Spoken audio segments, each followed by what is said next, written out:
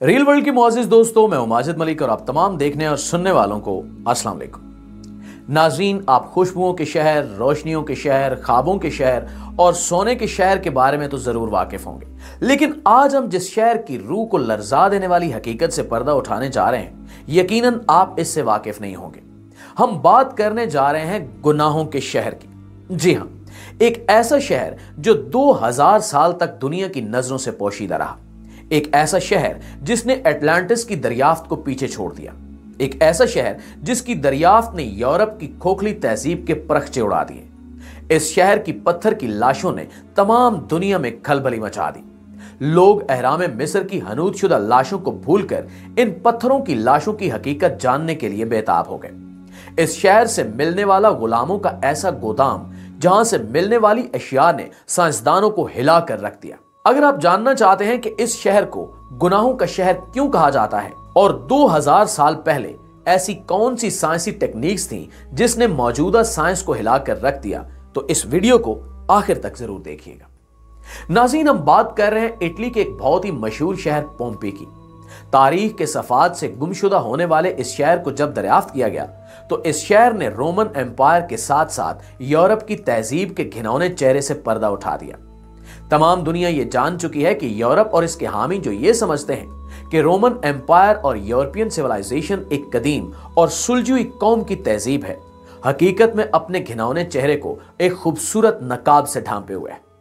अल्लाह के हुक्म से ज़मीन की तहों में छुप जाने वाला यह शहर 2000 साल कबल मसीह में तिजारत और ज़रात के बेहतरीन मरकज के तौर पर जाना जाता था।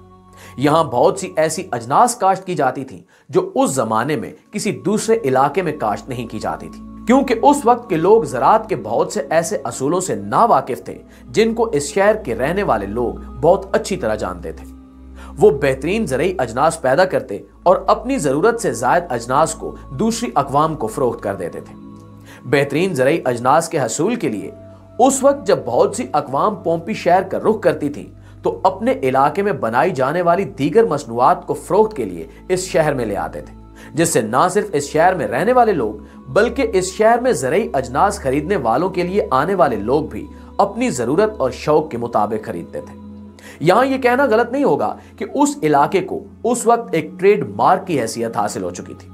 या आप यूँ कह सकते हैं कि यह उस वक्त रोमन एम्पायर का पहला ट्रेडमार्क था। बेहतरीन ज़रिए और तजारती मरकज होने की वजह से यहाँ दौलत की रेल पेल थी। यहाँ के रहने वाले हर किस्म की आसाइशों और नेमतों से माला माल थे।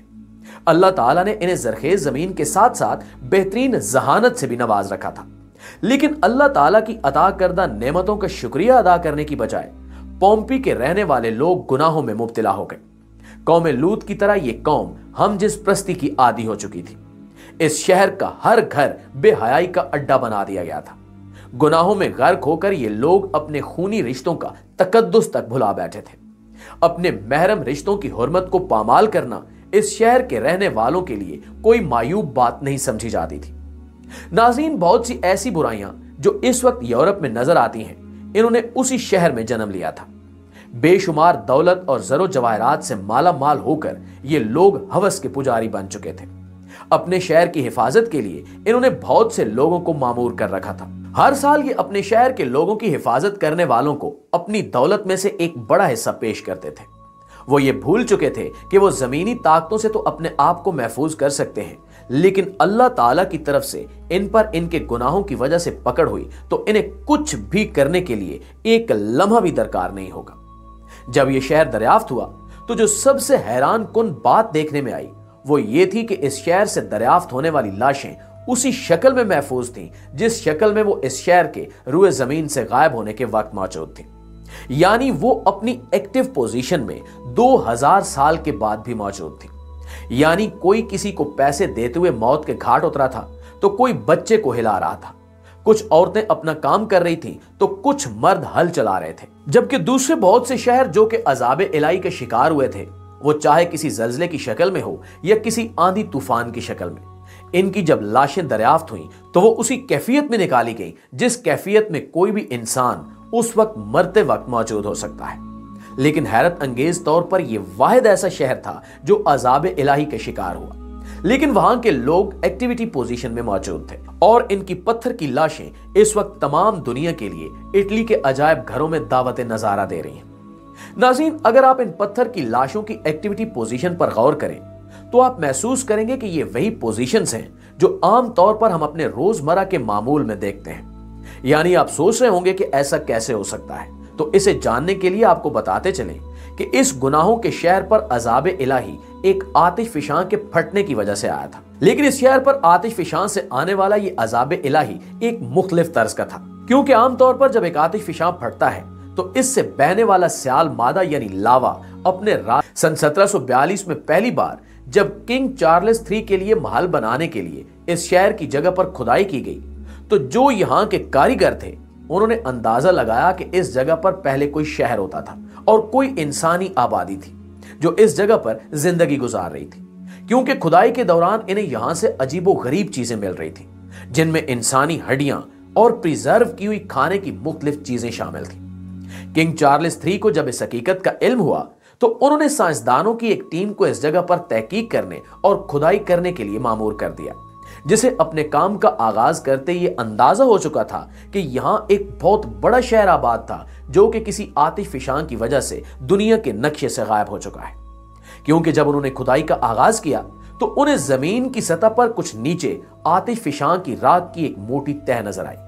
लेकिन जो सबसे ज़्यादा हैरान कुन बात इन आर्कियोलॉजिस्ट ने देखी, वो ये थी कि जब वो खुदाई कर रहे थे तो इन्हें बहुत सी ऐसी इंसानी हड्डियाँ मिली, जो कि बिल्कुल उसी सूरत में थी, जिस वक्त वो कोई काम कर रही थी। अगर आपने कभी एराम मिस्र की खुदाई करने वाले आर्कियोलॉजिस्ट को देखा हो तो आपने देखा होगा कि वो खुदाई किसी हथियार के ज़रिए नहीं करते, बल्कि जब कोई क्लू उन्हें नज़र आता है तो वो ब्रशिंग के ज़रिए वहाँ से पत्थर और मट्टी वगैरह हटाते हैं। ताकि जो बाकियात मौजूद हैं, इन्हें कोई नुकसान ना पहुँचे। बिल्कुल इसी तरह, इस शहर में जब इन्होंने ब्रशिंग के ज़रिए लाशें निकाली तो वो ये देखकर हैरान रह गए कि वो बिल्कुल उसी एक्टिविटी पोजीशन में थी, जिस पोजीशन में कोई भी इंसान काम करते हुए हो सकता है। जिससे इन्होंने ये अंदाज़ा लगाया कि शायद ज़मीन में कुछ होल्स बन चुके हैं, जिनमें ये लाशें इसी तरह महफूज हो चुकी थी। जी तो मुआजिज, दोस्तों, ये थी हमारी आज की वीडियो। इस हवाले से आप दोस्तों की राय क्या कहती है, नीचे कमेंट सेक्शन में हमारे साथ शेयर ज़रूर कीजिएगा। इनशाला आपसे मुलाकात होती है अगली इंटरटेनिंग और मालूमती वीडियो में। तब तक अपना और अपने प्यारों का ढेर सारा ख्याल रखिएगा। अल्लाह निगेबान